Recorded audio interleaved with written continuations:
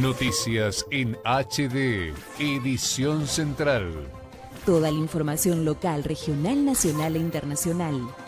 Con nuestros corresponsales en distintos lugares del país y del mundo. Toda la actualidad del día con el mejor staff del periodismo local y regional.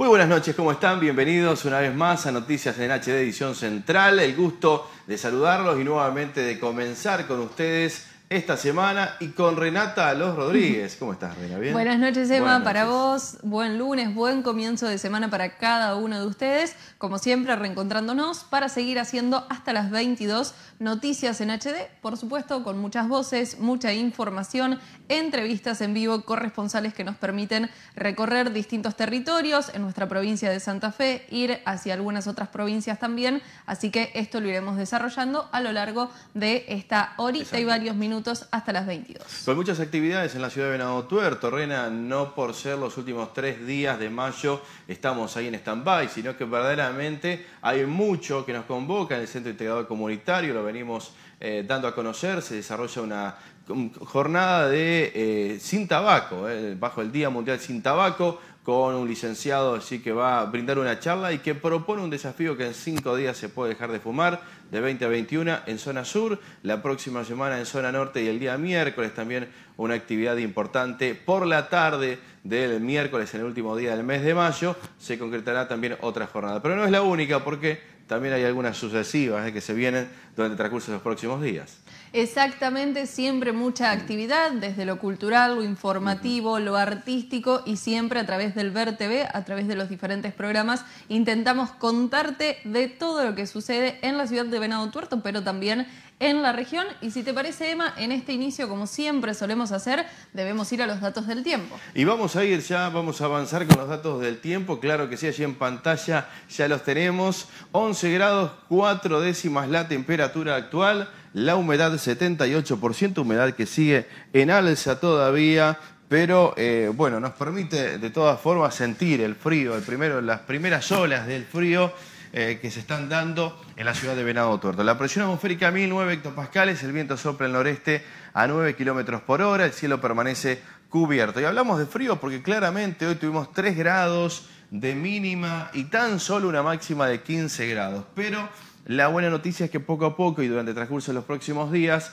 tanto la mínima y máxima van a ir ascendiendo. Claramente lo vemos allí en imágenes, día martes ya serían 6 grados y una máxima de 18 grados. Nos vamos a pegar el salto el día jueves, porque el día jueves ya estamos hablando de una mínima de 11 grados y una máxima de 21 grados. Sí, hay que soportar, bueno, hay que tolerar, aquellos que les gustan lo disfrutarán, pero sí es cierto de que tendremos al menos esta situación que se sabe dar y que tiene que ver con un par de días muy fríos y por otro lado eh, los próximos tres días de jornadas un poquito más cálidas. Por eso estamos hablando de que volveremos a pisar los 20 grados sobre el cierre de esta semana. Pero comenzamos con una jornada fresca en la ciudad de Venado Tuerto que nos llevará entonces al cierre de la edición de hoy de Noticias en HD Edición Central con alrededor de 10 grados. Sobre el final hablamos del martes, miércoles y jueves.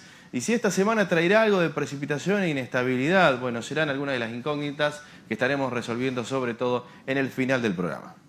Y ahora regresamos para hacer, como siempre, este repaso de las entrevistas que luego iremos desarrollando e inicialmente ya comenzaremos a compartir más títulos que llegarán de la mano de Emma, pero antes vamos con el repaso de las diferentes entrevistas. Estamos en este año 2023, por lo tanto, los precandidatos a los diferentes sectores, niveles gubernamentales se acercan con más frecuencia aquí a la ciudad de Venado Tuerto, por lo tanto escucharemos a la actual diputada Clara García, pero además también a la ex intendente de la ciudad de Rosario, Mónica Fein, ambas uniéndose, una con la decisión de renovar su banca en la Cámara de Diputados y otra con la intención de poder gobernar la provincia de Santa Fe. Otro de los temas tiene que ver también con la actividad de los bomberos voluntarios en la ciudad de Venado Tuerto, que fue muy intensa durante este fin de semana, con diferentes emergencias a las cuales debieron asistir, muchas con consecuencias lamentables y de diferente gravedad. Además también nos vamos al ámbito y giramos la página de la celebración, porque los jardines, en este caso, y las maestras jardineras estuvieron a puro festejo en su día, así que también mucho color, mucha alegría para los alumnos y toda la familia de cada institución educativa, pero además también vamos a hablar sobre la continuidad del operativo de vacunación antigripal que impulsa el gobierno en la ciudad de Venado Tuerto, entre algunos otros temas que tienen que ver, por ejemplo, con la inseguridad robos de motovehículos, de bicicletas, que ya casi ni trascienden porque lamentablemente son frecuentes en la ciudad, pero en este caso tendrá que ver con hechos que se dieron en un domicilio, en una vivienda en la ciudad de Venado Tuerto, donde sus habitantes estaban al momento del robo, sufrieron algunos tratos violentos y vamos a enterarnos de qué pasó al respecto. Pero antes de desarrollar todo esto, vamos con vos, Emma. Es así, Rena, y bueno, pasó el fin de semana largo del mes de mayo y tenemos la cifra, tenemos los números como es de costumbre para darles a conocer ustedes cómo se desarrolló, cuánta gente se movilizó por el país y cuánto hubo de inversión económica que definitivamente termina siendo muy positivo para nuestra Argentina. Estamos hablando de más de 1.300.000 personas que circularon por la República Argentina y estuvieron recorriendo los lugares más importantes de nuestro país, de acuerdo a los relevamientos del Observatorio Argentino de Turismo más de 1.3 millones de personas se movilizaron por los distintos destinos turísticos argentinos. Ha constituido esto una cifra récord para el fin de semana largo de mayo. El impulso tuvo que ver, claro, con el previaje 4, esta posibilidad de la cuarta edición de este programa que permite generar este movimiento tan importante en todo el país y sumamos también al impacto del Mundial Sub-20 y la llegada también de visitantes del extranjero, especialmente de Uruguay, eh, Chile y Brasil, que fueron los principales factores que explican el éxito rotundo de este fin de semana largo en nuestro país. San Juan volvió a ser la provincia con mejor nivel de ocupación, 97%, mientras que destinos como Salta, La Quebrada de Humahuaca, Mendoza, San Carlos de Bariloche, San Martín de los Andes, Puerto Iguazú, Merlo, Tandil y Santiago del Estero superaron el 90% de ocupación de acuerdo al relevamiento. Por su parte, habíamos hablado y anticipado sobre la gran eh, proyección que tenía Aerolíneas Argentinas para estos días y finalmente las cifras son más que importantes porque más de 230.000 pasajeros volaron durante el fin de semana largo con ocupación por arriba del 96% con destinos turísticos.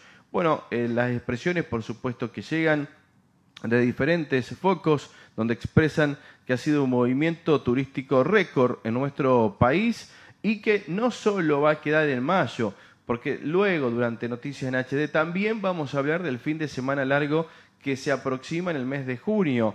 Y esto permite ya dar cuenta, sumado el mes de mayo, de que el mes número 6 también va a ser muy importante, muy fuerte y que ya se hablan de una recuperación total del turismo receptivo después del duro momento que les tocó vivir en el transcurso del coronavirus. Un fin de semana que da cuenta de esto es claramente este, el que hemos vivido del mes de mayo. Los lugares que se recorrieron también, San Carlos de Bariloche, eh, por otro lado también Salta, Santiago del Estero, Chubut, bueno, toda la Argentina recibió. No nos olvidemos de nuestra provincia de Santa Fe, Rosario también recibiendo gran parte, Reconquista, la gran parte de ese porcentaje que lo tuvo nuestra hermosa provincia de Santa Fe, que también fue recorrida a lo largo y ancho. Y vamos a girar la página y vamos a repasar la recorrida que vienen haciendo ellos. Algunos actuales, funcionarios y mandatarios que desean renovar sus puestos en el ámbito político en los diferentes niveles estatales, como así también otros que desean ser candidatos y lo están siendo para poder liderar desde algún ámbito. En esta oportunidad, en primer lugar, vamos a escuchar a la actual diputada, quien es precandidata para renovar su lugar allí en la banca de la Cámara de Diputados de la provincia. Estamos hablando de Clara García, perteneciente al Frente Progresista Cívico y Social, con una renovación en el nombre que los identifica para este 2023 en el armado de las listas. Clara García estuvo aquí en Venado Tuerto junto a los diferentes venadenses que también desean seguir su camino, seguir trabajando desde el ámbito de la política, pero además estuvo acompañada por la ex intendente de la ciudad de Rosario, hablamos de Mónica Fein, quien desea gobernar la provincia. Clara García, entre las diferentes declaraciones, los distintos ejes, anticipos que estarán informando también en la continuidad de esta campaña hasta que llegue el momento de acercarnos a votar en las urnas, uno de los ejes que mantuvo fue dar su argumento en relación a por qué se generó este cambio cuando en un inicio se comentaba que posiblemente la actual diputada Clara García iría con la intención y el desafío de ser precandidata a gobernadora de la provincia de Santa Fe. Esto cambió, finalmente lo es Mónica Fein y ella desea nuevamente estar en la Cámara de Diputados, así que vamos a enterarnos cuál es el argumento a esto, fundamentalmente haciendo hincapié en algunas acciones o inacciones, según evalúa Clara García, del actual gobernador Omar Perotti. De nuestras, a Mónica Fein, que será nuestra gobernadora y es la gobernadora que Santa Fe necesita. La necesita porque tiene la experiencia de haber gobernado durante dos mandatos, quizá la ciudad más compleja de la provincia, mi querida ciudad de Rosario, hoy abandonada, quizá una de las ciudades más complejas del país, fruto también del abandono que de manera deliberada el gobierno nacional hizo para con Rosario. Con Mónica formamos parte de un equipo y vieron que los equipos de alta competición organizan los roles de sus jugadores y jugadoras, depende del contexto, depende de las circunstancias, depende de los adversarios, depende cuál es la estrategia de futuro que se proponen. Y dijimos, la experiencia de gestión de Mónica Fein es la que requiere la provincia de Santa Fe. Y en mi caso, yo tomé la decisión, junto a los referentes de mi partido, de ser quien encabece la lista de diputados y diputadas, porque entendemos claramente que allí estará la gobernabilidad de Unidos, de Unidos para cambiar Santa Fe. No vamos a dejar que Perotti se atrinchere con su gente en la Cámara de Diputados y Diputadas. Y lo decimos porque la experiencia de cómo ha gobernado de cómo se ha relacionado en política durante estos cuatro años, nos da cuenta que trajo las peores prácticas. La falta de diálogo político, la mentira, las promesas incumplidas, aquello de látigo y billetera para disciplinar intendentes y presidentes comunales y actores de la sociedad que vieron en esa mirada absolutamente discrecional, ustedes todos recordarán aquella torta de cuando se cumplió un año de un expediente sin moverse, ¿no? Bueno, eso es lo que pasa a los intendentes o presidentes comunales que no eran de su pequeño círculo, se los castigaba, pero no a ellos, sino a su gente. Por eso es que no queremos que la Cámara de Diputados y Diputadas vuelva a ser esa trinchera de mentira. De manera que allí vamos, con toda la expectativa para un 16 de julio, que será un aspaso, que consideramos un escalón para el 10 de septiembre, donde Santa Fe va a jugar su futuro y allí estaremos, desde la lista adelante, desde Unidos, desde Unidos vamos a cambiar Santa Fe. Gracias. Y volvemos con más declaraciones, volvemos nuevamente a esta convocatoria de la lista que se presentó en Velado Tuerto, la lista adelante del Partido Unidos para cambiar Santa Fe, y será el turno ahora de la precandidata gobernadora Mónica Fein que traerá también en su discurso los planteos que se realizan sobre las proyecciones que tiene para su gobierno en cuanto a educación, a posibilidades de empleo, que sucede también con un tema que afecta a todos, como es la seguridad, que sucede también con planteos con la capacidad para resolver diferentes situaciones en cuanto a esta inflación y la situación económica que estamos viendo actualmente en la provincia de Santa Fe. Hace también un, panorama, y ya que está en, la ciudad de Venado Tuerto, comparativo con lo que fue el hospital doctor Alejandro Gutiérrez, si hablamos de eh, la cartera de salud también eh, recuerda lo que fue esa etapa de inauguración y que lo cual se sustenta hasta el día de hoy. Bueno, son diferentes ejes que va a presentar sobre sus proyecciones, planteos para todos los santafesinos. Vamos a compartir a la precandidata entonces a candidata a gobernadora, eh, Mónica Fein. de concejala. Venimos a transmitirle que queremos que en Santa Fe haya un gobierno. Parece simple, pero es sumamente complejo entender que hoy no hay un gobierno. Un gobierno tiene planes, tiene proyectos, propuestas a mediano y largo plazo, sabe qué va a hacer con la educación, evalúa las situaciones de los jóvenes, de los chicos, de las chicas, tiene la relación entre la educación y el trabajo, busca nuevas posibilidades, eh, piensa en salud, como pensó Hermes Wiener y inauguró Miguel Lifchik con los hospitales, pero sigue fortaleciendo, por ejemplo, tendría que hoy estar abierta la terapia pediátrica, porque se viene el frío, vamos a tener muchas consultas pediátricas. Hay que seguir programándose el futuro, no basta solo con construir. Un gobierno es aquel que también acompaña a los productores, a los comerciantes, que está cerca de los gobiernos locales para resolver los problemas. Y por supuesto un gobierno es aquel que toma la seguridad como un desafío complejo, pero que lidera el propio gobernador en los procesos para abarcarlo. Me tocó ser intendente de una ciudad como Rosario y les aseguro que semanalmente Miguel Lifchi se sentaba en una mesa con distintos actores del Ministerio Público de la Acusación, del Ministerio de Seguridad, del Ministerio de Desarrollo. Obviamente yo iba con mi equipo, desarrollo social, planeamiento urbano, para entender que cuando se estructura la violencia en un territorio, uno de los elementos más importantes es fortalecer la presencia del Estado. Obviamente mejorar la policía, el sistema penitenciario, lograr la investigación criminal, cuestiones que han quedado en la nada. Entonces queremos eso, un gobierno que asuma la responsabilidad en cada una de las áreas en COFIR te brinda seguridad y confianza. Sabemos asesorarte y acompañarte cuando más lo necesitas. Emergencias médicas las 24 horas, traslados, visitas domiciliarias, enfermería y consultorio médico virtual. Con EMCOFIR 100 te ofrecemos cobertura nacional e internacional. Cuidamos a tus hijos a través de nuestro servicio de pediatría y también te brindamos el 50% de descuento en farmacias. Contamos con cobertura para establecimientos y áreas protegidas. Para más información, ingresa a nuestras redes sociales o a www.emcofir.com.ar.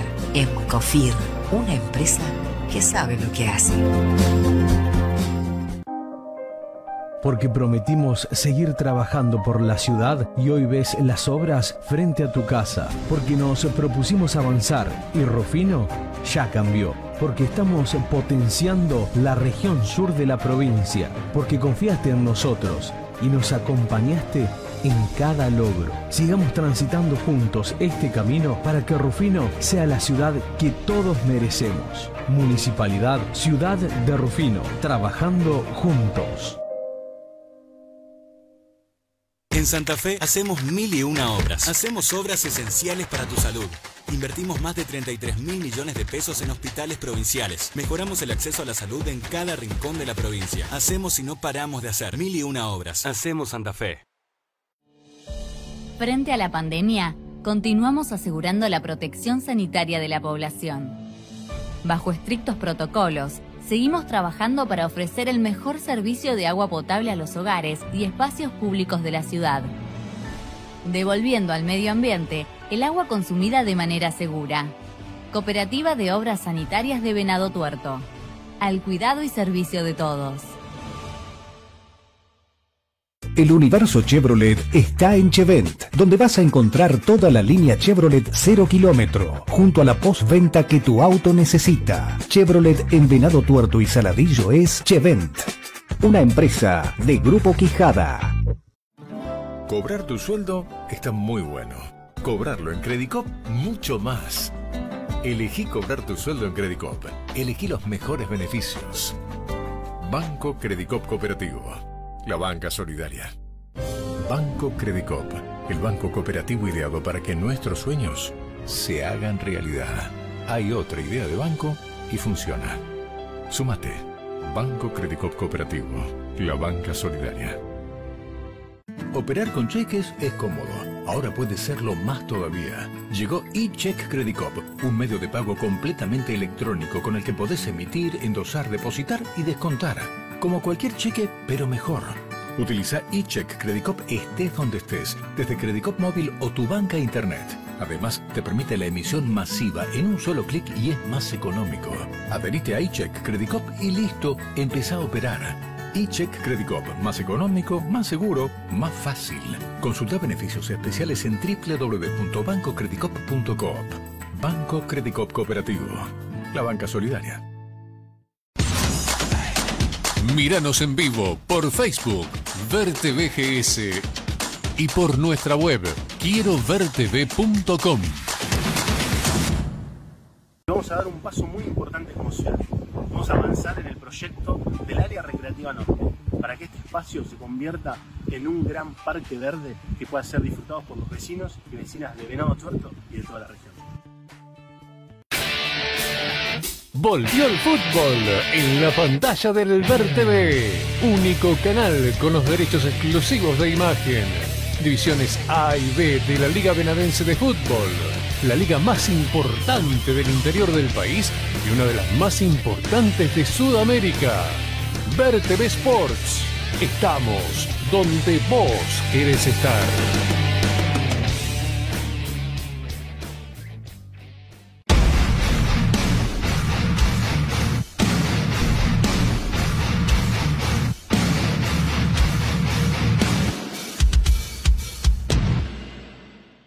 Bueno, buenas tardes a todos. Eh, me quiero presentar. Soy Gustavo Marconato, precandidato a gobernador por este nuevo partido que se llama Escucharte.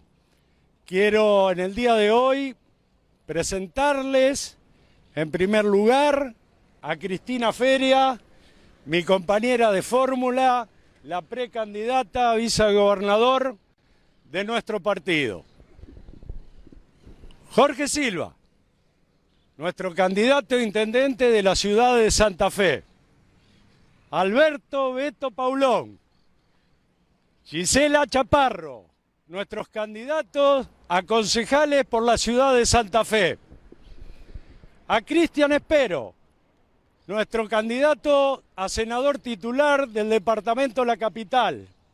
Andrea Luna, nuestra candidata suplente a concejal por el departamento. Y a nuestros dos primeros candidatos a diputados provinciales, Débora Farabolini y Sebastián Acedo.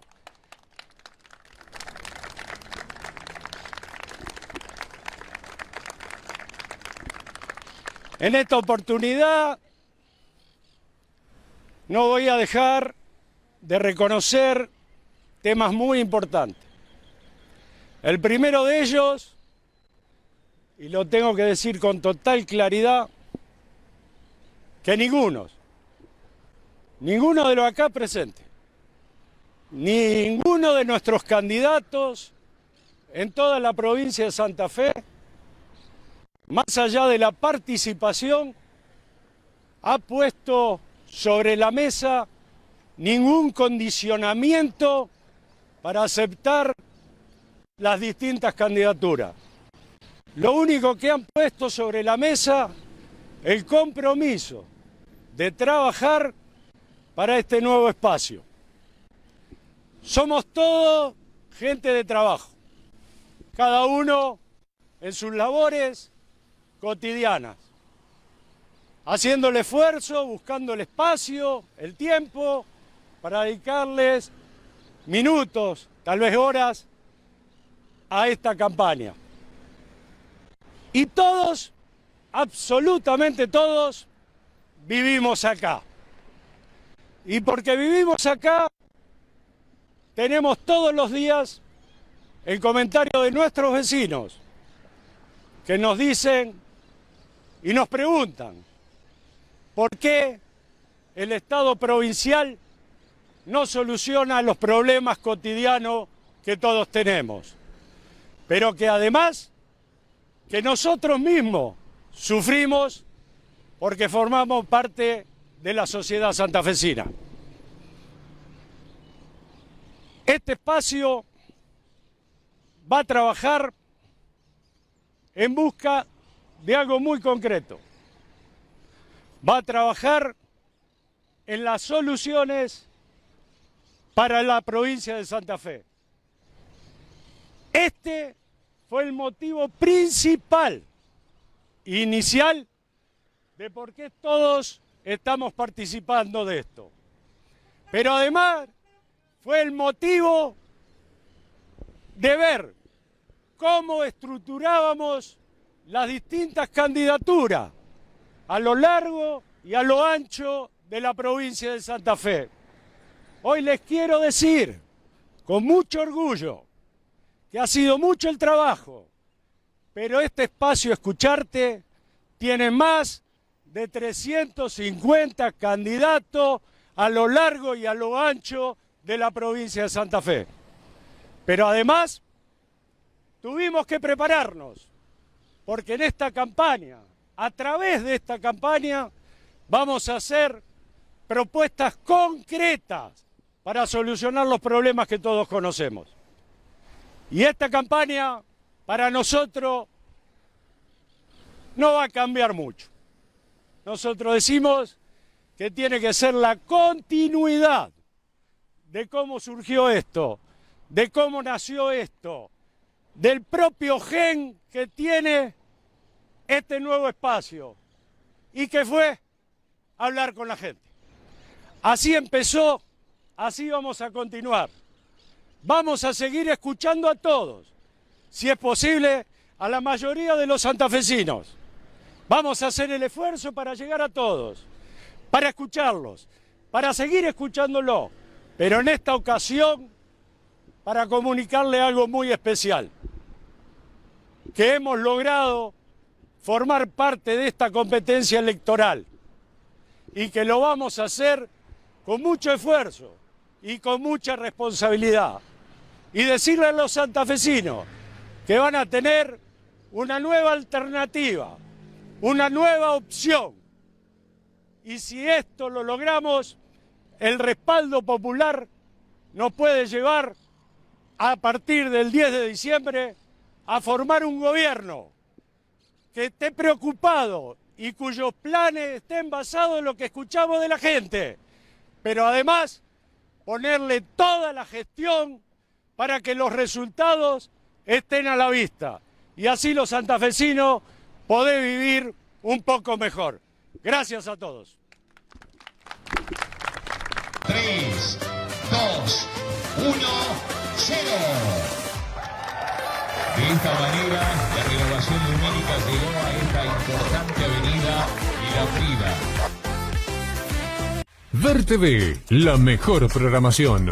Lunes a viernes a las 8, Desayuno Express. A las 9, la segunda mañana. 12.30, Picada de Noticias. Ver TV, la programación que elige Venado y la región.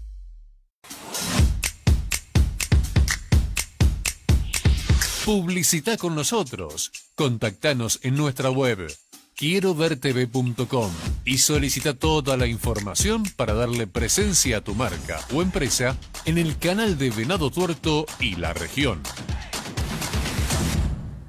Con el nuevo plan de pago de deuda previsional, esas miles y miles de argentinas y argentinos que trabajaron toda su vida podrán jubilarse.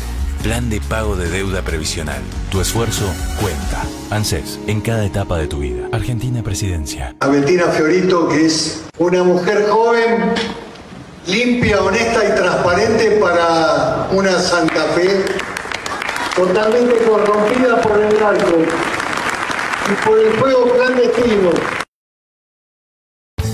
Solicitamos la actualización de billetera Santa Fe a 12.500 pesos, ajustable según los niveles de inflación, y que sea ley, para que no dependa de la voluntad de un gobierno de turno. También pedimos que se excluya del beneficio a los funcionarios de alto rango, para que ese dinero sea destinado a incrementar la devolución a jubilados y pensionados, que son quienes más lo necesitan.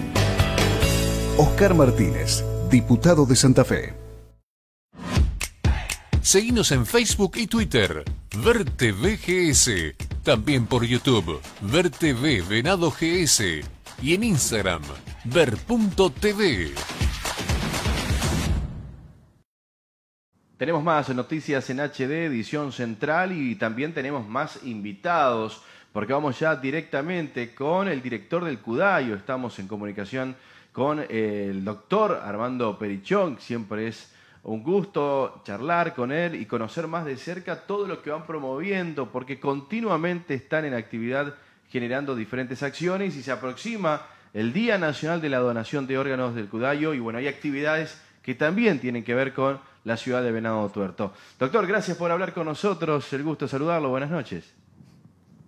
¿Qué tal? Buenas noches, ¿cómo están ustedes? Bien, bien, la verdad que listos para compartir con ustedes este momento y por supuesto también para prepararnos, ¿cierto?, para esta actividad que se va a estar desarrollando y que Venado Tuerto también va a ser un escenario de estas propuestas, ¿sí? Sí, en Venado Tuerto eh, vamos a estar participando de un operativo multiagencial que se hace en un barrio de la ciudad, en la nueva ciudad, y la coordinadora del Cudayo, la doctora Salman, va a estar ahí con un grupo de, gente trasplantada, que pueden dar testimonio de lo que significa estar trasplantado, familias donantes, y también una serie de, de promotores que lo que van a buscar es generar una conciencia positiva, una corriente positiva hacia la donación de órganos como un hecho trascendente, ¿no? No te olvides que este día, mañana, que es el Día Nacional de la Donación de Órganos, es un homenaje a las familias donantes, a los donantes, que son de última los héroes anónimos que han permitido que mucha gente en nuestro país, a través de ese hecho altruista y solidario, pueda seguir viviendo o haya mejorado su calidad de vida. En minutos volvemos a este Día Nacional de la Donación de Órganos y para conocer más actividades, porque sabemos que hay una institución también que está formando parte de, la planificación de esta propuesta, pero consultarle, Armando, frente a su larga trayectoria, hoy, eh, ¿cuál es la lectura que realiza frente a este 2023, después de la situación también de la pandemia que retrotrajo un poco eh, la, situación ¿no? y que trajo una complicación? Hoy se ha recuperado, hoy, ¿cuál es la reflexión que realiza en cuanto a esto? No, ya el año pasado nos habíamos recuperado y habíamos vuelto a valores prepandémicos. El año pasado la provincia de Santa Fe tuvo 75 donantes, con una tasa de donantes por millón de habitantes, 20.9 por millón de habitantes, lo cual era una tasa, fue una tasa superior incluso a la media nacional. Así que ya nosotros empezamos a ver dos cosas. Primero, la recuperación de la pandemia, por un lado, y obviamente también la aplicación a full de la ley Justina, que fue la que de alguna manera en el 2018 no se había podido terminar de poner en marcha por la pandemia. Ya en este momento la provincia de Santa Fe ya tiene 41 donantes y seguramente mañana vamos a subir ese número porque estamos con donantes en este momento, así que si uno extrapola ese valor al fin del año, estaríamos superando los 80 donantes, lo cual sería ya seguir recuperando los datos o los números que teníamos en la prepandemia. Doctor, pero en esta también balanza, por así denominarlo, la lista de espera sigue siendo extensa, ¿no es cierto? Y la necesidad para muchos es urgente y a diario. Por supuesto, la lista de espera en todo el mundo es extensa y nadie piensa que va a poder resolver toda la gente que está en la lista de espera a través de la donación de órganos. O sea, nosotros creemos, creemos firmemente que tenemos que intentar prevenir las enfermedades que llevan al trasplante. Me parece que esa es la, apuesta al futuro, tratar por todos los medios de, por un lado, subir los niveles de procuración de órganos para que los pacientes que están en más grave estado, los que tienen algunas mayores dificultades, puedan acceder rápidamente al trasplante. Pero por el otro lado, el CUDAIO tiene un área de, que se llama Programa de Salud Renal, que lo que busca es prevenir justamente la salud renal, previene las enfermedades renales, prevenir las enfermedades cardíacas, todo eso que de alguna manera tiene que ver con nuestros hábitos no saludables que tenemos, transformarlos en hábitos saludables para tratar de evitar y de prevenir este tipo de insuficiencia orgánica, que son la verdadera epidemia del siglo XXI, ¿no? Este tipo de patologías son la verdadera epidemia del siglo XXI y que el trasplante es la última, la última herramienta que tenemos para resolver. ¿Qué pasa con los niños también? Que es un tema muy sensible, ¿no es cierto?, a todos cuando vemos continuamente a través de los medios información de que están necesitando eh, también inmediatamente un trasplante, un órgano. Esto es un problema del mundo. Los niños no nacen para morirse. Los niños tienen una tasa de mortalidad muy baja. Y no solamente la tasa de mortalidad es muy baja, la forma que nosotros necesitamos para que sean donantes de órganos es una forma muy especial de morirnos, que tiene que ver con la muerte encefálica, que es raro que los niños también, salvo algún accidente o, algún traumatismo o algunas malformaciones que puedan tener a nivel cerebral, sobre todo vasculares, puedan llevar a la muerte encefálica. Por lo tanto, es un gran problema en el mundo. Nosotros en Argentina tenemos 188 menores de, de 16 años que están en lista de espera. Y también hay un segundo problema, que la ley Justina no abarca a los menores de 18 años y a los menores de 18 años hay que solicitar la autorización de, la donación a los padres o los tutores. O sea, son dos grandes problemas que tiene el mundo para, para poder abastecer de, de, donantes pediátricos a los receptores pediátricos, porque aparte no podemos usar órganos de adultos en los niños, fundamentalmente en los órganos más importantes. Entonces, creo que es uno de los problemas que tenemos. El año pasado, si mal no recuerdo, hubo 67 niños que donaron órganos y creo que eh, es uno de los temas a, resolver en el futuro. De todas formas, son más los sí que los no, ¿no es cierto? Esto, lo, podemos confirmar, doctor, eh, y, consultarle respecto a, la situación, ¿no es cierto?, que se da en la provincia de Santa Fe, que es noticia todos los días, eh, en los datos estadísticos, y esto también nos lleva a replantear nuevamente lo que usted propone aquí en la ciudad de Venado Tuerto que Venado Tuerto se convierta de forma independiente, ¿no es cierto?, en un lugar donde pueda trabajar en este sentido. ¿En qué instancia estamos? ¿El convenio ya ha sido firmado? ¿En qué etapa avanzamos en este sentido? No, la última reunión que hubo en Rosario, hará un mes y medio atrás con el INCUCAI, eh, sigue la propuesta del INCUCAI de poder financiar algún aspecto de la procuración de órganos en los tres hospitales que nosotros elegimos como posibles unidades de procuración, que son el, el Alejandro Gutiérrez de Venado, el Eva Perón de Baigorria y el Jaime Ferré de, Rafaela. Bueno, estamos, estamos terminando la licitación de los equipos de, diagnóstico de muerte encefálica, que son equipos digitales que hay que conseguir para poder dotar a los hospitales de lo primero que tenemos que tener, que es el diagnóstico de muerte. Ya tenemos la neuróloga del hospital de ahí de Venado Tuerto contratada por el Cudayo y la idea es poder entregar antes de fin de año el equipamiento técnico para que esto pueda empezar a, desarrollarse. Hemos hablado varias veces con el director del hospital, con los médicos de la unidad de terapia, hemos hecho las capacitaciones necesarias, falta que podamos conseguir finalmente la licitación de este, de este tipo de tecnología para poder hacer los diagnósticos de muerte. Bueno, aquí en Venado Tuerto incluso se llegó a hablar de, de que la posibilidad de tener un predio para que el avión pueda allí eh, instalarse, y, porque la logística es fundamental en esto también, tiene que ser todo inmediato, debe ser un equipo gigante el que tiene que participar inmediatamente. Cada donante de órganos, entre personal del CUDAIO, personal de, los hospitales donde se procuran, personal de logística, personal de seguridad, interviene más de 120, 130 personas en cada donante. Moviliza medios de logística muy importantes el, tema del helicóptero, el tema de los aviones que hay que, hay que recibir en los, en los distintos aeropuertos.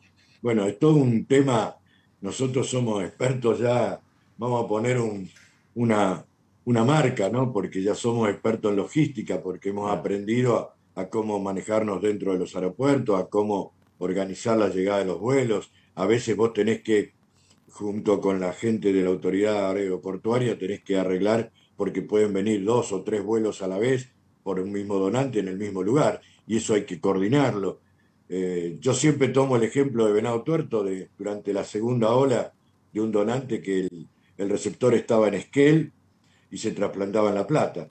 Y nosotros teníamos el órgano en Venado Tuerto y era a la madrugada, a las 3 de la mañana, con una niebla espantosa y tuvimos que hablar con Aerolíneas Argentinas, con las autoridades de Esquel, logramos que de Esquela de Bariloche se lo llevara en una ambulancia al receptor. En, en Bariloche, Aerolíneas hizo subir al paciente para trasladarlo a la ciudad de Buenos Aires. Ahí una, una ambulancia del Incucay lo trasladó por vía terrestre hasta el hospital que lo trasplantaba en La Plata y mientras tanto nosotros, a través del CIES local, llevamos el órgano por vía terrestre en una niebla espantosa, insisto, y que realmente los choferes de ese momento se jugaron la vida para llevar, y todo ese procedimiento, al día siguiente del trasplante, el, el médico que lo trasplantó al paciente mencionó que era, era casi imposible entender de que toda esa logística se había armado de, una, porque lo tuvimos que armar ahí en el momento, porque nosotros no sabemos dónde va el órgano después, hasta cierto punto, y tuvimos que armarlo y llegó en 5 horas 40 a encontrar el receptor con el donante, con el órgano que se había donado, así que realmente nos felicitó por todo lo que habíamos podido hacer. Esto habla de, de un expertise que tiene el Cudayo, que a veces excede solamente lo médico, ¿no? Nuestros choferes el año pasado hicieron 410.000 kilómetros, llevando órganos, llevando muestras biológicas, pacientes a distintos lugares a trasplantar, ir a buscar pacientes para, durante la, la, la, la pandemia, llevar el plasma también por la primera hora. Bueno, no viene el caso, pero es un equipo enorme que interviene en todo esto y ese es el mérito del Cudayo. Es una política de Estado claramente muy bien planificada, eh, Armando, y, frente a diferentes discursos, argumentos, posturas, posiciones que se dan más aún en este 2023, ¿qué lo lleva a, a, pensar y a contrarrestar aquello que muchas veces se dice públicamente, bueno, sin entender, ¿no es cierto?, la dimensión que largos, más de largos, 30 años, se viene trabajando para generar esta política de Estado y sostenerla. Yo creo que Primero la historia, la historia del Cudayo es muy rica, ¿no? De aquellos pioneros que en finales de la década del 80 crearon el Cudayo, a todas las distintas gestiones, como vos bien mencionabas, tanto el Cudayo como el Incocay son verdaderas políticas de Estado, que han pasado presidentes, gobernadores, ministros, y siempre se creció y se puso distintos programas en marcha para tratar de aumentar la procuración. En esa época, finales de la década del 80, la Argentina tenía tres donantes por millón de habitantes por año. Y el año pasado la provincia de Tafé terminó con 20.9 donantes por millón de habitantes por año. O sea que habla claramente de una política de Estado que permitió que independientemente de la gestión política se pudiera seguir creciendo y los resultados se ven a la larga. A veces los argentinos estamos muy apurados por los resultados. Los resultados tienen que ver con el trabajo. Nosotros siempre decimos que somos el lado oscuro del corazón. Nosotros nadie nos conoce, a mí me pueden conocer, pero atrás de, mío hay un montón de, médicos, administrativos, neurólogos, laboratoristas, choferes, médicos, coordinadores, médicos operativos. Bueno, hay un montón de gente que, que trabaja en la sombra, nadie los conoce, por eso un médico español una vez me dijo, ustedes son el lado oscuro del corazón. Armando, muchísimas gracias por estos minutos. Eh, mañana es una oportunidad más para seguir dialogando, conversando, conociendo más de cerca la, actividad que desarrollan. Y sé que la institución que también se está sumando es Trasplantados Unidos. ¿Puede ser que en conjunto están trabajando aquí en la ciudad? Sí, vamos a estar en el barrio Nueva Ciudad y, realmente estamos anoche mandamos todo el material para allá, para Venado, y tenemos una coordinadora y gente trasplantada que va a dar su testimonio, así que estamos con la coordinadora de, de Venado, estamos viendo de hacer unas campañas en la escuela, que no terminar con el 30 de mayo, ¿no? Claro. Que, esto se tiene que continuar y, me parece que esa es la manera que tenemos de construir esta sociedad donante que tanto anhelamos todos. Gracias, doctor, por estos minutos. Un fuerte abrazo. A ustedes, hasta luego, buenas noches. Con nosotros el director del Cudayo, el doctor Armando Perichón. No se olviden, mañana entonces de las 9 en el barrio Ciudad Nueva, allí en la plaza, se va a estar desarrollando una actividad especial para despejar cualquier tipo de dudas, para conocer más, para recibir folletería. Eh, van a estar allí dispuestos, dispuestas para asesorarte, eh, para charlar, pasar un tiempo y bueno, actualizarnos también en este sentido, cómo se está trabajando aquí en lo cerquita, ¿no es cierto? En lo próximo a tu barrio, a tu lugar, en la ciudad de Venado Tuerto. Y vamos a seguir avanzando con la información. Hace instantes teníamos voces que buscan ser precandidatas aquí en la provincia de Santa Fe, pero ahora vamos con la palabra de quienes pretenden ser y son precandidatos para, en este caso, gobernar a la República Argentina. Y allí lo vamos a ver en pantalla, incluso junto al actual presidente de la Nación, Alberto Fernández, pero justamente es Agustín Rossi quien lanzó su precandidatura presidencial a la espera de que el Frente de Todos confirme si habrá paso.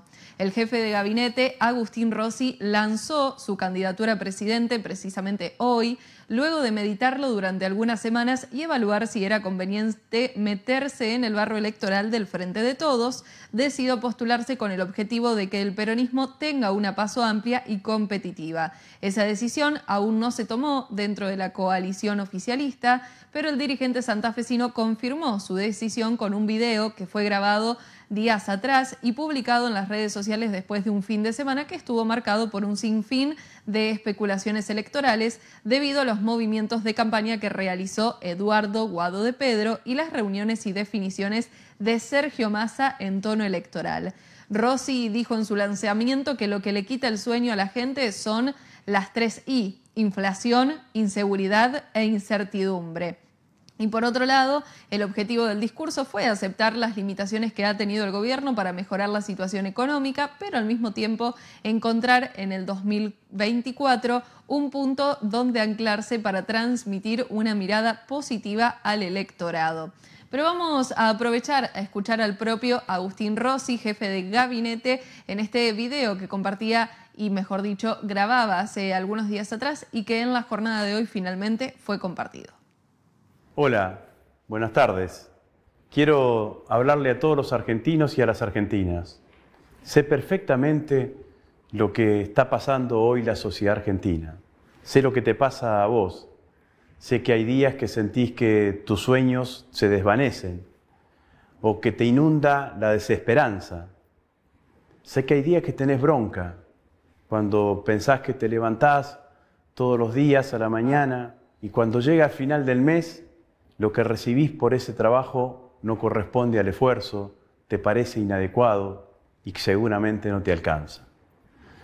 No nos han tocado años fáciles. Suelo decir que la Argentina tiene la convergencia de cuatro crisis. La del endeudamiento que recibimos, la pandemia, después la guerra y ahora la sequía.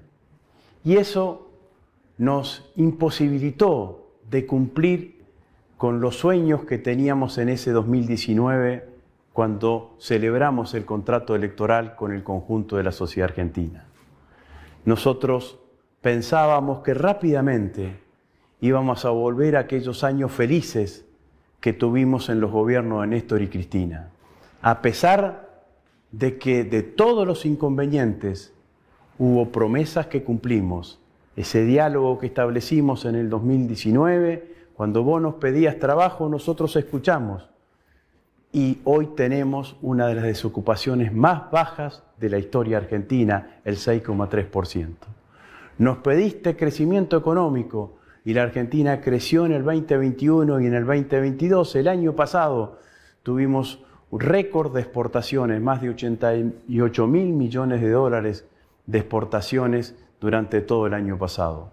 Nos pediste vivienda y que entregamos más de 100.000 viviendas a lo largo y ancho de todo el país. Nos pediste obras públicas, que nos preocupemos por la infraestructura, por el saneamiento, y tenemos más de 5.000 obras públicas en ejecución, muchas de ellas más de 3.000 terminadas. Nos pediste que fortaleciésemos el sistema de salud y vaya, se lo hicimos durante la pandemia y lo seguimos haciendo. Mejoramos la educación, claro que sí. Todas las escuelas primarias en la Argentina de gestión estatal tienen una hora más de clase como mínimo para recuperar lo que perdimos durante la pandemia. Federalizamos la ciencia y la tecnología a lo largo y ancho de toda la Argentina y muchas cosas más. Pero yo sé que lo que te quita el sueño, lo que a veces te impide dormir, son lo que yo llamo las tres I. La inflación, la inseguridad y por sobre todas las cosas la incertidumbre. Y si me estás escuchando hasta acá, yo ahora te quiero transmitir tranquilidad. Tranquilidad porque esto va a pasar. Y no va a pasar dentro de 10 años. Termina este año y el año que viene el ciclo económico de la Argentina va a ser distinto. La Argentina vuelve a crecer fuertemente el año que viene. Ya no vamos a tener los efectos de la sequía. Vamos a ver metabolizado en la economía argentina los efectos de la pandemia y de la guerra. Y vamos a poder aprovechar íntegramente las inversiones en infraestructura que venimos haciendo, como el gasoducto Néstor Kirchner, que nos va a permitir equilibrar la ecuación energética en nuestro país. La Argentina va a tener una balanza comercial favorable el año que viene. Vamos a tener reservas en el Banco Central y con reservas en el Banco Central vamos a controlar el tipo de cambio y bajar la inflación. Pero el desafío es el de siempre, es el que históricamente ha tenido la Argentina desde hace muchísimos años. Ese crecimiento del que estamos hablando va a quedar en manos de unos pocos o va a poder ser disfrutado por el conjunto de los argentinos. Y yo para eso quiero ser presidente. Quiero ser presidente para garantizarte que el crecimiento económico de los próximos años va a ser redistribuido entre todos los argentinos, que va a haber crecimiento con inclusión social y con redistribución del ingreso, y que ese crecimiento se va a dar año tras año consecutivamente. Por eso quiero ser presidente. Por eso te pido que me acompañes, que me des la oportunidad de ser presidente. Te invito a compartir mis sueños con los tuyos, que seguramente serán los mismos de nuestros padres y de nuestros abuelos y que tendrán nuestros hijos y nuestros nietos. El de vivir en un país grande, en una Argentina soberana, con inclusión, con seguridad, con igualdad social y con crecimiento económico. Sobre todas las cosas, vivir con tranquilidad, que es lo que decíamos cada uno de los argentinos y de las argentinas. Gracias por haberme escuchado en estos minutos. Les mando un abrazo a todas y a todos. Y ahí teníamos este video con el cual ha lanzado su candidatura a presidente de la Nación por el Frente de Todos, Agustín Rossi. Nosotros vamos a girar la página y nos vamos a encontrar con otro Agustín, pero en este caso es nuestro compañero, el periodista Agustín Vicio, que nos lleva hacia la capital de la provincia de Santa Fe. Agus, ¿cómo estás? Buen comienzo de semana. ¿Cómo están? Buenas noches, buen comienzo de semana, un placer volver a estar con ustedes. Buen lunes. Muchas gracias. Igualmente, ¿cómo arranca la semana la ciudad de Santa Fe, al territorio allí cercano? Y también, ¿qué ha dejado este fin de semana largo? ¿Cómo lo vivieron? Bueno, si quieren podemos empezar por eso último, que ha dejado el fin de semana largo con muchísima concurrencia en cuanto al turismo. Sabemos que a nivel nacional fue un fin de semana eh, récord a nivel turístico con la cantidad de gente que estuvo recorriendo distintos puntos de la República Argentina. Bueno, la provincia de Santa Fe no fue la excepción. Aquí en la ciudad estuvo rondando entre lo que fue un 75, un 80% de ocupación hotelera, un número bastante importante para lo que es eh, la fecha, también con mucha gente recorriendo distintos puntos turísticos eh, de la capital provincial, pero según un informe de eh, la provincia de Santa Fe que elaboró la Secretaría de Turismo, el lugar con mayor concurrencia fue la ciudad de Reconquista, donde hubo un 95%, allí se celebró la eh, fiesta de la torta frita, un clásico regional, según indican desde la, Secretaría de Turismo. Así que hubo mucha concurrencia en aquella ciudad del norte y Rosario recuperó cierto nivel turístico, rondando también entre el 80 y el 85% de ocupación hotelera. Así que una, un fin de semana con jornadas con muchísima eh, ocupación eh, hotelera y con mucha concurrencia turística aquí en la ciudad de Santa Fe, pero también en el resto de la provincia, con números que obviamente son eh, favorables y son un piso, según marcan las autoridades, tanto municipales como provinciales, de aquí en adelante para poder sostener ¿no? esta concurrencia y aumentar aún más de aquí a futuro. Así que un fin de semana sumamente positivo desde lo turístico aquí en la ciudad de Santa Fe y la región. Bien, buenísimo.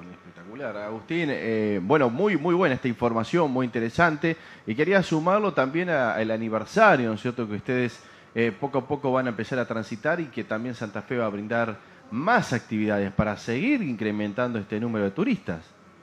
Exactamente, sí, ya eh, se está encaminando ¿no? a lo que va a ser los 450 años de la ciudad de Santa Fe, eh, con distintas actividades. Si bien el cumpleaños, por decirlo de alguna forma, el aniversario va a ser en el mes de noviembre, poco a poco nos vamos acercando y durante todo este año ya hay actividades diría que prácticamente cotidianas. Todos los días eh, surge alguna actividad, eh, todos los fines de semana seguro, pero se van realizando distintas jornadas, distintos encuentros que tienen que ver con eh, diferentes puntos de la historia de la ciudad de Santa Fe. La Constitución es uno de ellos, lo que es el Museo de la Constitución, allí se están desarrollando distintas charlas, distintos encuentros de debate que tienen como punto de inflexión justamente las distintas veces que se reformó, que primero se sancionó por primera vez aquí en la ciudad de Santa Fe la Constitución, allí por el año 1853, y después las distintas reformas que se fueron dando a lo largo de los años y de la historia de la República Argentina, la cual la ciudad de Santa Fe fue protagonista, fue el lugar donde se terminó de discutir y cocinar las distintas reformas. Bueno, en ese sentido, eh, uno de los puntos turísticos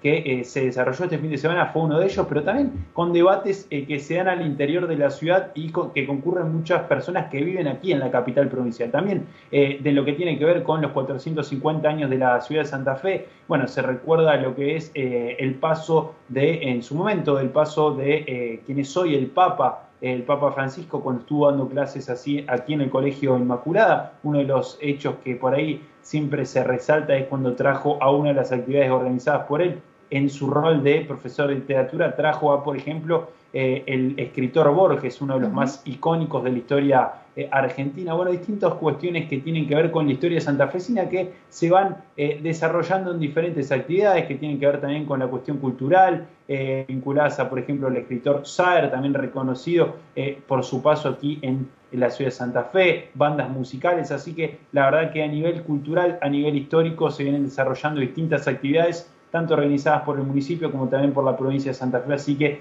la verdad que eh, cualquier persona que quiera acercarse se va a encontrar con un montón de, cosas aquí en la ciudad de Santa Fe. Y también son eh, actividades que aprovechan los santafesinos y las santafesinas que aprovechamos para conocer también nuestra historia. Así que, bueno, estamos en un año bastante movidito en la ciudad. Hmm. Y hablando de movidito, Agustín, ¿cómo arrancó esta semana o qué ha arrojado la pasada, más allá de en paralelo desarrollarse toda esta cuestión turística que por supuesto es sumamente valorable después de lo que dejaba aquel tiempo de pandemia y en sí, en realidad, las consecuencias también económicas que se atraviesan hoy en día?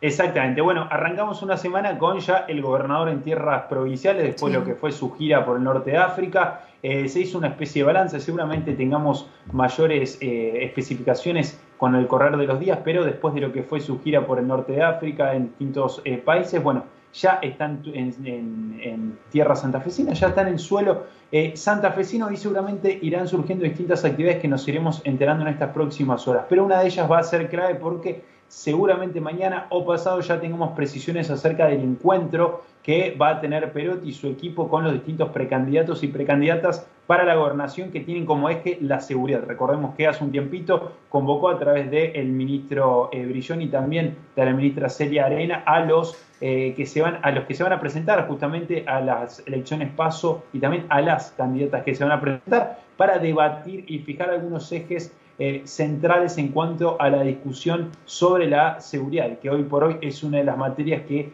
eh, más aqueja a la provincia de Santa Fe, puntualmente a la ciudad de Rosario. Así que una vez que se oficialicen las listas, que va a ser el día de mañana, vamos a tener novedades acerca de esta cuestión. Y estamos transitando justamente una semana sumamente clave en cuanto a lo electoral y mencionaba recién al pasar esta cuestión de la oficialización de las listas, que va a ser el día de mañana, pero también mañana va a ser un plazo límite para la presentación de los símbolos, los emblemas y las figuras partidarias y las fotos que van a presentar cada uno de los eh, espacios políticos que van a estar participando de las elecciones paso y las elecciones generales.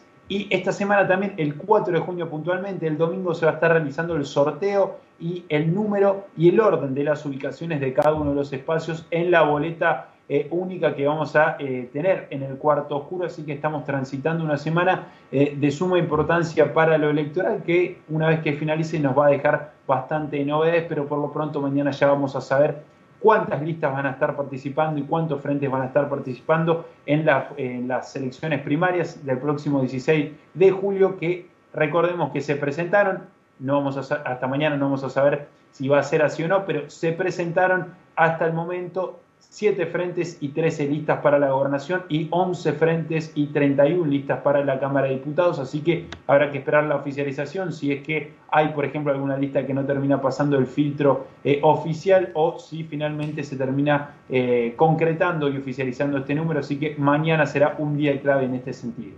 Agustín, eh, también consultarle sobre uno de los servicios, qué sucede con el transporte ¿Hay alguna definición? ¿Va a afectar esta paralización de actividad en Santa Fe? Bueno, finalmente se terminó acordando y al menos por 10 días se llegó a un acuerdo que no va a haber paro al menos por 10 días. Recordemos que era una discusión y un paro planteado eh, por el sindicato justamente que reúne a los distintos choferes de toda la República Argentina, a excepción del área metropolitana de Buenos Aires en las distintas provincias y acá en Santa Fe estaba previsto eh, un paro. Bueno, esto finalmente no va a terminar eh, ocurriendo porque el Ministerio de Trabajo prorrogó lo que es la conciliación obligatoria, así que la UTA eh, va a acatar y levantar el paro previsto para el día de mañana, pero sigue siendo un problema que está latente y habrá que esperar bueno, cómo se desarrollan estos próximos días las negociaciones que tienen que ver puntualmente con la cuestión salarial, así que por el momento no hay paro, pero el conflicto se podría decir que simplemente se estiró un poco más y se pateó un poco más para adelante la pelota, como se suele decir vulgarmente, pero el conflicto no eh, se terminó de cerrar, así que habrá que esperar a los próximos días y jornadas para ver cómo se termina desarrollando y el desenlace de esta cuestión. Muy bien, Agustín, ¿algo más que haya quedado pendiente? Por ahora no, seguramente con el correr de los días seguiremos en contacto y estaremos atentos a que vaya ocurriendo en una semana donde probablemente haya nuevamente sesión en la Cámara de Diputados, en la Cámara de Senadores y con ya actividades por parte del gobernador aquí en suelo santafesino, así que seguiremos de cerca esta cuestión y, estaremos en contacto. Muchísimas gracias, abrazo. Abrazo grande, un saludo, buen comienzo de semana.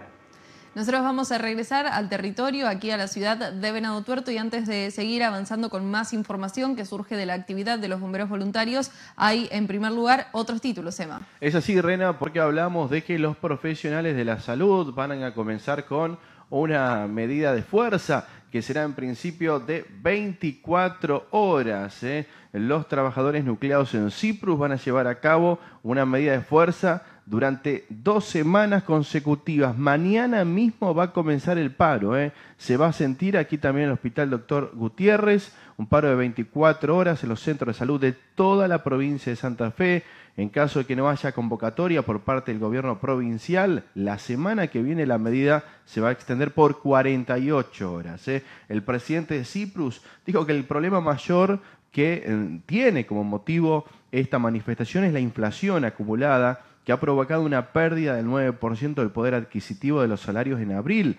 Además, consideró que los montos y tramos del aumento acordado en marzo no son realistas en el contexto actual. También sostuvo que todavía la situación con los trabajadores sigue en stand-by porque aún no hay ningún tipo de medida que se haya tomado para los alrededor de 20.000 empleados que pasarían a planta permanente. Las declaraciones de algunos de los funcionarios siguen sorprendieron y afirman la escasez del personal médico en ciertas áreas, especialmente el médico generalista y pediatras, han sido bastante cuestionadas en este último tiempo. También es uno de los argumentos que se suma por esta medida de fuerza. Se torna hoy muy difícil encontrar profesionales para cubrir puestos en guardias, centros de salud, servicios de, pediatría. Es debido a los bajos salarios y la inestabilidad laboral, aseguran. En lugar de afirmar que faltan profesionales en ciertas especialidades, los funcionarios deberían ofrecer salarios adecuados y estabilidad laboral para atraer y retener al personal médico, dijo el presidente de Cyprus, haciendo sobre todo el recuento de los motivos que los llevarán a comenzar a manifestarse y a que se vean afectados con guardias mínimas los profesionales que trabajan desde Cyprus en toda la provincia de Santa Fe. Y vamos a seguir avanzando ahora sí con otra información que nos trae aquí a la ciudad de Venado Tuerto porque será el bombero voluntario, uno de los que integra esta gran asociación aquí en la ciudad de Venado Tuerto. Estamos hablando precisamente de Pablo González, quien hará un repaso de las diferentes asistencias y demandas que han tenido durante el fin de semana, incluso en la noche de ayer debiendo asistir a un lugar donde al parecer se había producido un accidente, donde simplemente habría participado un motovehículo y el conductor de dicha motocicleta perdía la víctima, perdía la vida en este caso y se convertía en una víctima fatal. Pero vamos con información que la trae justamente uno de los bomberos voluntarios de Venado Tuerto. Vos hemos tenido una jornada, un fin de semana bastante agitado, eh, pero bueno, vamos a hacer un, un breve resumen sobre lo, lo que fue por ahí que, de mayor características, eh, siendo el primer accidente el día domingo a las 7 y media de la mañana. En este caso se trataba de una camioneta Renault Oroch, eh, que era tripulada por Federico de 30 años, que colisiona con un camión que estaba estacionado, lo cual bueno, produce eh, lo que es daños materiales bastante importante, pero afortunadamente con lesiones menores para el único tripulante de la camioneta quien presentaba politraumatismos leves. De todos modos fue evaluado por personal médico, quien determinó que no era necesario su traslado, así que se trabajó en lo que es la prevención de la escena eh, y gracias a Dios no, ha pasado mayores. Eh, pegadito, alrededor de las 8 de la mañana, nos avisan por un incendio de vehículo, pero el cual se encontraba en la parte delantera de una casa, sería en la parte delantera donde está el porche, y bueno, esto lo que generaba era la, eh, la imposibilidad de, los, moradores de poder retirarse de la misma casa porque la misma llama y el mismo fuego no, los dejaba salir. Construía la, salida. Exactamente, entonces eh, podemos hablar de que había dos personas atrapadas dentro de la vivienda, si bien no era la vivienda la que se estaba incendiando, sino la motocicleta que se encontraba por fuera.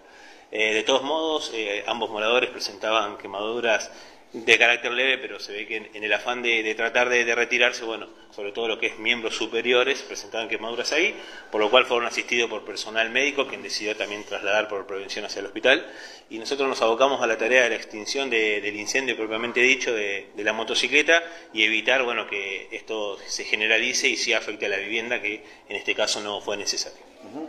Hubo otro accidente y otro incendio, perdón, ¿eh? después el accidente, otro incendio también de, características similares. Sí, exactamente. Eh, alrededor de las 8 de la noche nos avisan por un incendio dentro de una casa de familia, en este caso en calle Gumón al 300, en donde eh, en este caso sí, una garrafa que aparentemente lo usaban de, modo de calefacción dentro de la vivienda, bueno, por razones que, que desconocemos, inició un incendio en el lugar eh, y bueno, si, si, bien la vivienda no era de grandes dimensiones, sí se termina, eh, tanto por el hollín, por el humo y el calor que se genera, se termina prácticamente generalizando en toda la, en toda la habitación. Eh, bueno, por lo cual hubo que, realizar la evacuación correcta de los moradores. Afortunadamente ninguno sufrió ninguna herida de consideración, más que un poco de inhalación de humo. fueron evaluados también por personal médico y bueno, nosotros nos abocamos también a la extinción de, esta garrafa y a retirarla de forma segura para evitar un mal mayor. Las recomendaciones justamente, y sobre todo en esta época del año, es eh, controlar y vigilar el tema de la calefacción dentro de los hogares y, esto que se tomó buena costumbre más por una cuestión de seguridad, dejar los vehículos, motos dentro de las casas, digamos, con el tema de la pérdida de nafta y demás. Eso es para tenerlo en cuenta. Sí, exactamente. Vale, vale mucho lo que vos decís porque por ahí por un lado el tema de, la inseguridad y demás, bueno, hace, nos hace tomar este tipo de, medidas y eh, tanto en motocicletas como también eh, se está viendo mucho en lo, que es elementos eléctricos, eh, bicicletas, monopatines eléctricos y demás que han tenido ignición con el tema de, sobre todo las baterías y bueno, después puede generar este tipo de, daño que después bueno, es irreversible, ¿no? Y también con las estufas y garrafas. Y con el tema de las estufas, sobre todo las que son tipo garraferas, las que llevan adentro, o las que llevan la, pantalla que se conecta directamente al pico, también tener eh, especial cuidado, sobre todo a la hora de detectar pérdidas y demás, y tratar de, trabajar siempre con todos los elementos autorizados o que estén eh, bajo cierta normativa para evitar por ahí que el, el tema de las uniones, el tema de las mangueras y demás, bueno, que pueden generar este tipo de incendios.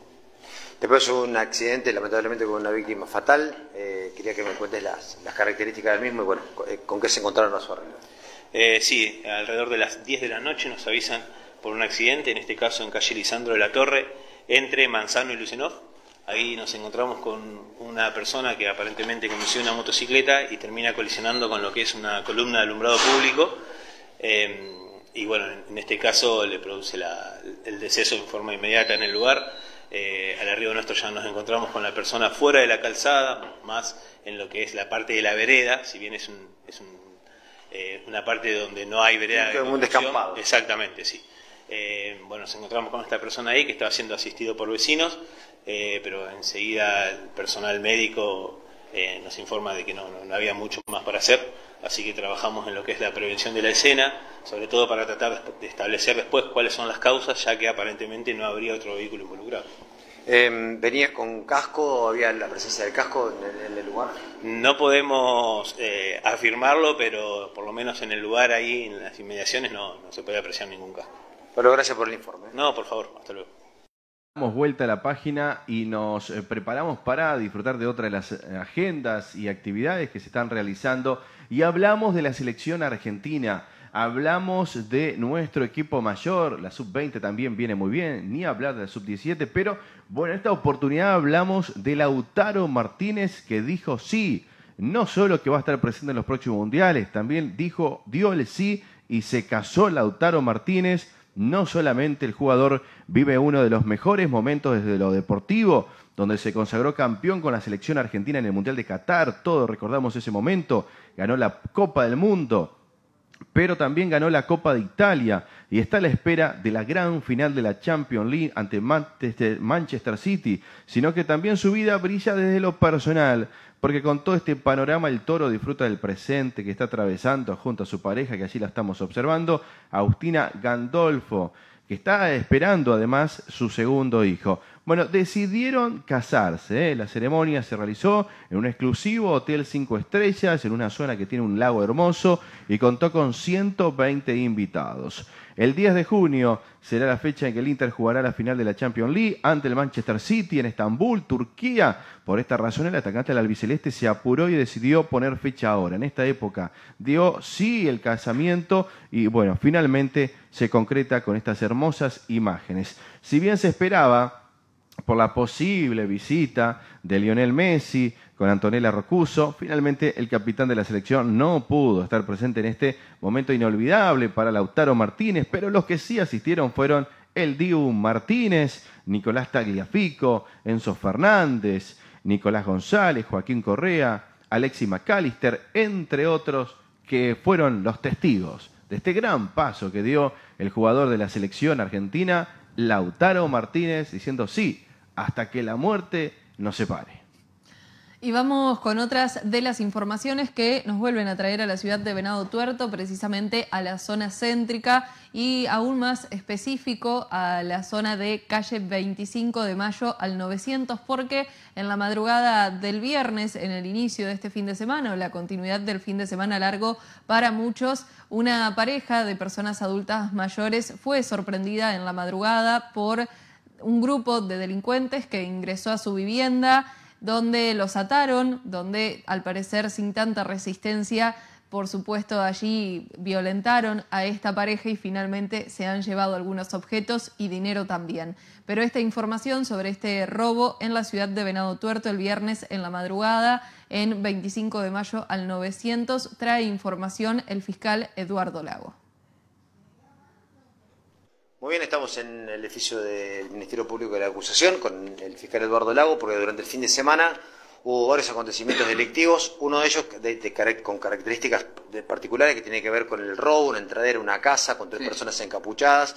Eh, en el centro de la ciudad, enfrente de Plaza Martín, quería que me cuentes los detalles hasta donde podemos saber de lo que pasó. Sí, este, este, ¿cómo le va? Este delito es un, claro ejemplo de lo llamado delito complejo, delito que tiene inteligencia previa, este, no es un delito al, azar. no, no es azaroso. Eh, hay, preparación. Eh, vamos a ser muy reservados porque hemos tirado toda la batería de medidas que podíamos, la hemos tirado. Eh, por eso quiere decir cámaras de seguridad y demás. Todo. Y otras cosas que voy a reservar por una cuestión de no perjudicar la, la investigación. personas grandes, personas grandes, los habitantes de la casa. ¿Los sorprendieron durmiendo? Estaban dormidos, sí. Y sospechamos también, eh, estamos, digamos, tenemos una teoría del caso eh, y estamos trabajando con la Agencia de Investigación Criminal y con la Comisaría del Lugar también, este, y con criminalística, o sea, se está tirando con todo lo que tenemos a disposición en la en la tercera circunscripción a nivel de, investigadores. Eh, así que con el correr de, las horas este, entiendo que, puede llegar a eh, confirmarse algunas cuestiones. Este, es un hecho de, un esclarecimiento difícil, yo no, no, vamos a engañar las cosas o disfrazar las cosas.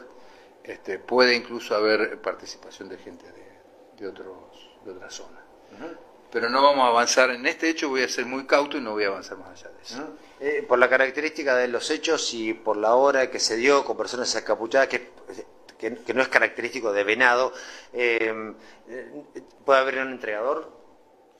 Eh, se está, a ver, no se descarta. No, por, por la cifra de dinero. No, está bien. No se va a descartar por ahora ninguna hipótesis, pero no voy a avanzar para no perjudicar la investigación precisamente, ¿no es cierto?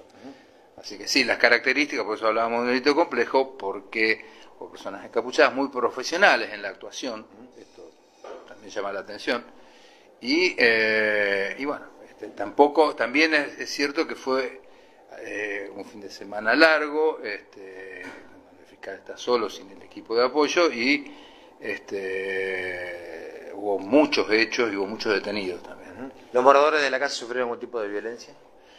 Eh, sufrieron la privación de su libertad porque fueron eh, atados, este, pero no, no así, entiendo que sí, la violencia propia de este tipo de actos, ¿no? pero no vejaciones específicas que pudieran dar lugar a otra calificación.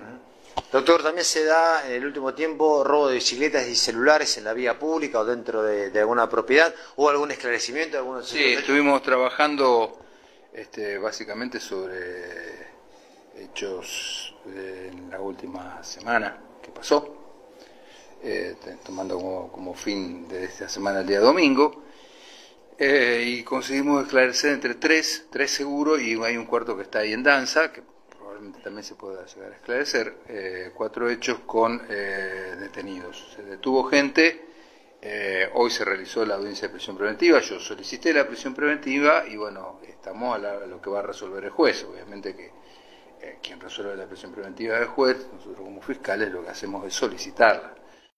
Y sobre la parte final nos vamos hacia afuera y te contamos cómo está la temperatura, bien cerca del sol, un poquito más lejos, eh, cada vez más lejos estamos de esta temperatura que que el sol nos regalaba durante el transcurso del verano. Atención que estamos hablando de un próximo verano con temperaturas muy, muy calurosas. Oh, eh, Emanuel, pará, que falta aunque sea medio añito. Es cierto, es cierto, falta todavía, pero le digo esto porque algunos pensaban de que ya había pasado el otoño y termina ahora el 21 y recién comienza el invierno. Pensemos en lo que viene después, que se habla de temperaturas sofocantes, ¿eh? Incluso más altas de las que estuvimos el último verano. Pero lo dejamos ahí porque si no me van a venir a buscar. Vamos a poner la placa entonces, señorita directora. 11 grados la temperatura actual en la ciudad de Venado Tuerto. La humedad 85%, la presión atmosférica 1009.2 hectopascales. El viento sopla el noreste a 9 kilómetros por hora. Va a seguir en ascenso, ¿eh? las mínimas y máximas tranquilos porque el día de mañana ya tenemos mínima de 6, máxima de 18 grados para el martes, parcialmente nublado, no tendremos mucha presencia del sol, pero sí viento del norte estará acompañándonos. En este escalón que será de 8 grados, luego de 6 disminuirá en media mañana, 18 y terminaremos la jornada con 14 grados. El día miércoles mínima de 8, máxima de 19 grados, algo nublado también el día, viento del norte nuevamente, tendremos máxima de 19, será 10 grados, luego descenderá, tendremos los 8 grados mínimas, 19 y cerraremos la jornada del miércoles con 15 grados. Nos posicionamos imaginariamente en el día viernes con una máxima de 22 grados, 22 ¿eh? grados ya en ascenso para el día Viernes vendremos de un jueves con una máxima de 21, allí nomás. Y el sábado y domingo mínima de 12, máxima de 18 y domingo mínima de 11, máxima de 18. No se espera lluvia, tranquilo, no tendremos probabilidad de tiempo inestable durante el correr de estos próximos días. Ahora nosotros vamos con la última información que tiene que ver con las farmacias de turno. Farmacia Carpi, ubicada en Brown y Dorreo. En Pueyrredón 104 está de turno Farmacia Raca Farmacia Kenier en San Martín 201. Y ahora sí, nosotros inmediatamente debemos poner punto final a la edición de hoy, comenzando esta nueva semana, completa la semana para todos en general y de esta forma ya llega toda la agenda deportiva desde las diferentes disciplinas. Muchas gracias por compartir con nosotros, gracias a Eli, Manu, Fede, todo el equipo que está trabajando para hacer posible que estemos al aire y por supuesto el móvil y todo el gran staff y el equipo de la familia Albert TV. Así es, y gracias a ustedes por estar del otro lado, por acompañarnos. La continuidad de la programación del Ver TV, como siempre, está asegurada, así que te invitamos a quedarte y con Noticias en HD volvemos mañana. Exactamente, estas y otras informaciones eh, ampliadas están en las redes sociales del Ver TV. Buenas noches. Una producción de Multimedio GS.